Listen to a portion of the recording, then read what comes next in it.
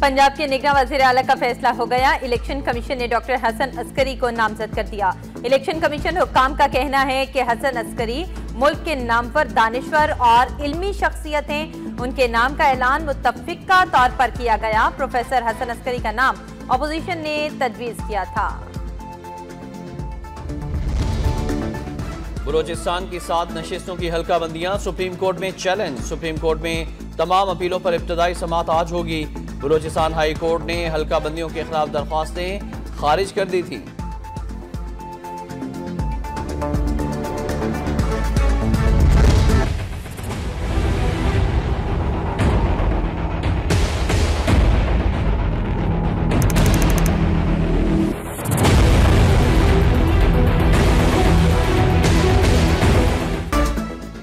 شریف خاندان کے خلاف ایون فیلڈ ریفرنس کی سماعت، نواز شریف اور مریم نواز کی حاضر سے استثناء کی درخواست آئے ڈپٹی پروسیکیوٹر جنرل نیب کے حتمی دلائل تیسرے روز بھی جاری۔ کہا، قطری شہزادے کا بیان غیر متعلقہ ہے۔ جی آئی ٹی نے پھر بیان ریکارڈ کرنے کی کوشش کی۔ قطری شہزادے نے جی آئی ٹی کے سامنے پیش ہونے سے اجتناب کیا۔ جرہا میں کہا گیا، قطری شہزادے کو دھمکی لگائی گئی، یہ درست نہیں۔ پانی کو عزت دو۔ سیاست سے ہٹ کر پانی کے مسئلے کا حل نکالنا ہوگا۔ ملک کے قرضوں اور ڈیم بنانے کے لیے چندہ اکٹھا کرنے کو دل کرتا ہے۔ سپریم کورٹ میں پانی کی قلت سے متعلق از خود نوٹس کیس کی سماعت کے دوران چیف جسٹس آف پاکستان کے ریمارکس۔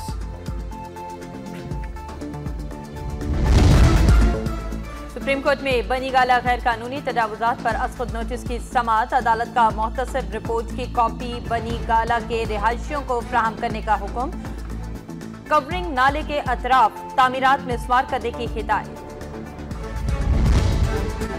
کراچی کے علاقے کورنگی الیاس گوٹ میں رینجرز کی کاروائی ملزمان کی فائرنگ سے ایک رینجرز اہلکار شہید، دو سپاہی زخمی ہو گئے۔ جوابی کاروائی میں ملزمان کو بھی گرفتار کر لیا گیا۔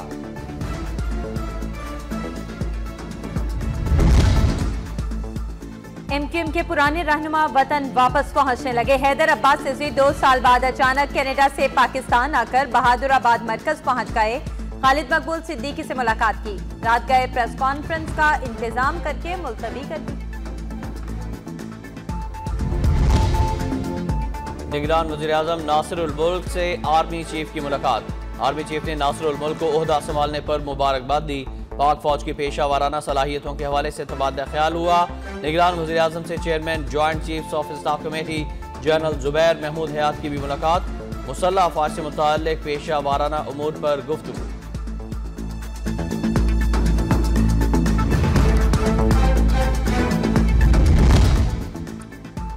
سینئر سیاستدان رسول بخش پلیجو کراچی میں انتقال کر گئے، عمر اٹھاسی برس تھی۔ کئی عرصے سے علیل تھے۔ تدفین آبائی علاقے جھنگ شاہی ٹھٹا میں کی جائے گی، جبکہ رسول بخش پلیجو نے عامروں کے خلاف ہمیشہ جنگ لڑی۔ کئی کتابوں کے مصنف بھی ہیں۔ جمائمہ سابق شوہر عمران خان کی حمایت میں میدان میں آ گئیں۔ کہتی ہیں، ریحام خان کی کتاب برطانیہ میں شائع ہونے کے قابل ہی نہیں۔ یقین ہے، ایسی کتاب برطانیہ میں شائع نہیں ہو سکتی۔ اپنے سولہ سالہ بیٹے کے توسط سے ہر جانے کا دعویٰ دائر کروں گی۔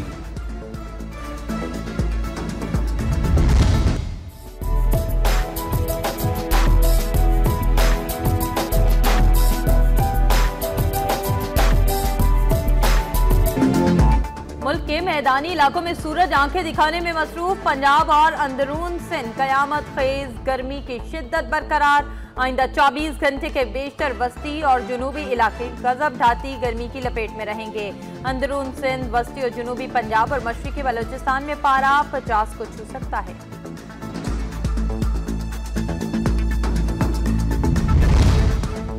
فتح کا عزم لیے Pakistan cricket team Scotland پہنچ گئی۔ گرین شرٹس اور میزبان ٹیم کے درمیان دو ٹی ٹوینٹی میچز کھیلے جائیں گے۔ پہلا ٹی ٹوینٹی بارہ جون اور دوسرا تیرہ جون کو کھیلا جائے گا۔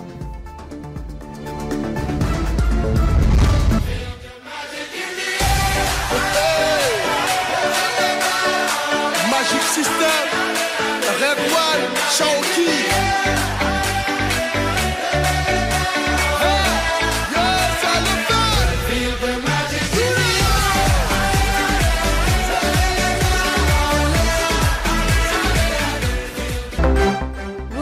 والے فیفا ورلڈ کپ کی تیاریاں زور و شور سے جاری۔ دنیا بھر میں میگا ایونٹ کا جنون عروج پر پہنچ گیا۔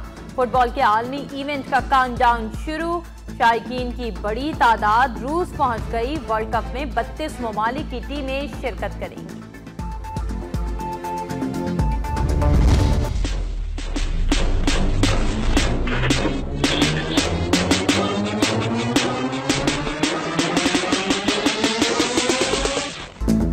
معروف فٹ بالر میسی کا امریکی میگزین کے لیے بکروں کے ساتھ photo session. Star footballer کی تصاویر نے سوشل میڈیا پر دھوم مچا دی۔ ہزاروں کی تعداد میں مداحوں نے پسندیدگی کا اظہار کیا۔ امریکی صدر ڈونلڈ ٹرمپ کی جانب سے وائٹ ہاؤس میں مسلمانوں کے لیے افطار ڈنر کا اہتمام۔ کئی مسلمان گروہوں کا افطار کا بائیکاٹ۔ وائٹ ہاؤس کے باہر مظاہرے۔ ٹرمپ نے مسلمانوں کے خلاف نفرت پھیلائی۔ امریکہ میں مذہبی آزادی پر پابندی لگائی۔ مظاہرین کی نعرے بازی، وائٹ ہاؤس کے باہر نماز مغرب بھی ادا کی۔ لندن کے بارہ منزلہ لگژری ہوٹل میں آگ لگ گئی۔ فائر بریگیڈ کی بیس گاڑیوں نے گھنٹوں کوشش کے بعد آگ پر قابو پایا۔ ایک سو پندرہ سال پرانا ہوٹل برطانوی شاہی خاندان کے زیر استعمال بھی رہتا ہے۔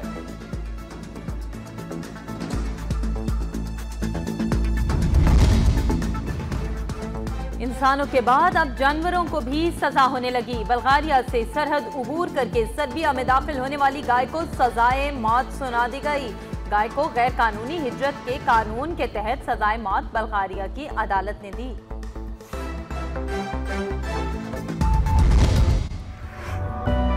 This is the time to retire because everyone's got a camera and everyone's got a lawyer. I'm retiring at the right time. I was the cop at the right time. You're going to have a lot of crap to deal with. Suspect with an automatic weapon outside National Bank. Shots fired! Shots fired! On the ground now! On the ground! اور action سے بھرپور فلموں کے مداحوں کے لیے خوشخبری Hollywood کی crime drama film two double one کا نیا ٹریلر جاری فلم آٹھ جون کو سینما گھروں کی زینت بنے گی